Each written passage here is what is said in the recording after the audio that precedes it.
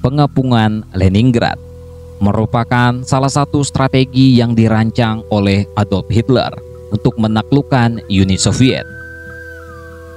Kota terbesar kedua setelah Moskow ini merupakan kota yang didirikan dan dinamai atas nama pendiri Soviet Vladimir Lenin.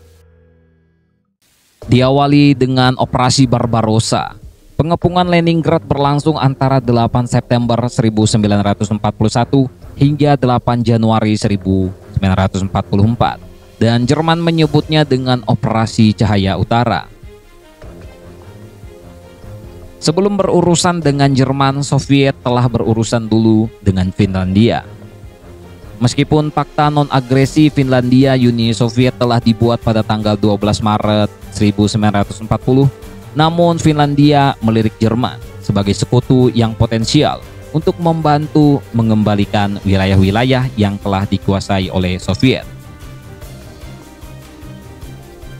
Merespons keputusan Finlandia yang mendukung invasi Jerman, pada tanggal 25 Juni, Soviet melakukan pengeboman di beberapa kota Finlandia namun pada bulan Agustus, pasukan Finlandia mampu mengusir pasukan Soviet dan menduduki daerah Karelian, distrik federal Rusia. Ancaman terhadap Leningrad semakin besar. Bulan Desember, pasukan Finlandia bergerak dari utara menuju Sungai Svir, 160 km timur laut Leningrad. Sedangkan Jerman bergerak sangat cepat dari selatan. Wehrmacht atau pasukan infanteri Jerman juga berhasil mencapai sungai Svir dan bergabung dengan pasukan Finlandia.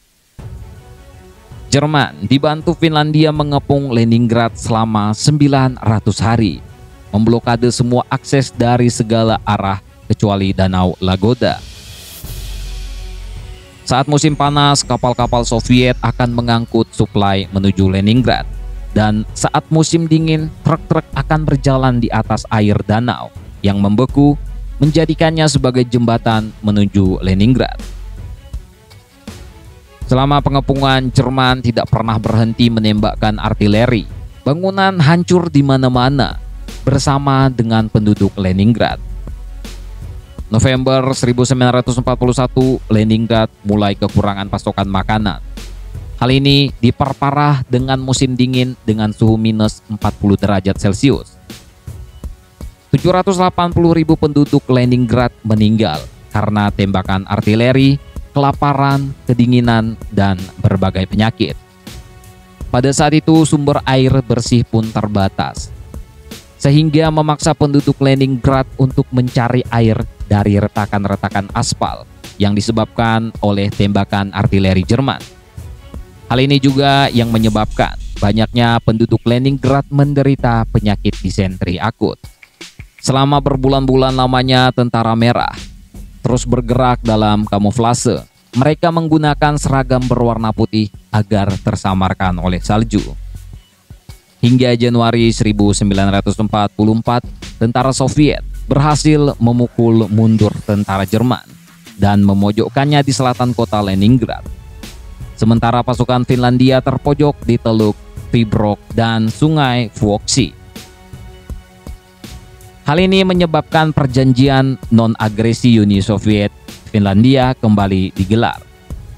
Dari hasil kesepakatan ini, seluruh tentara Jerman yang tersisa diusir dari seluruh wilayah Finlandia. Leningrad mendapatkan julukan sebagai kota pahlawan karena keberanian dan kegigihan penduduk Leningrad untuk bertahan dan tidak tunduk pada Jerman.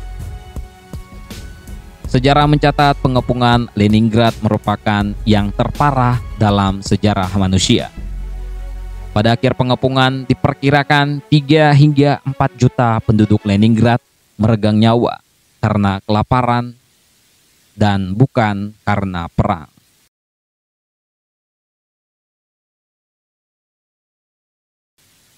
Tentang ini, bagaimana menurut kalian, coy?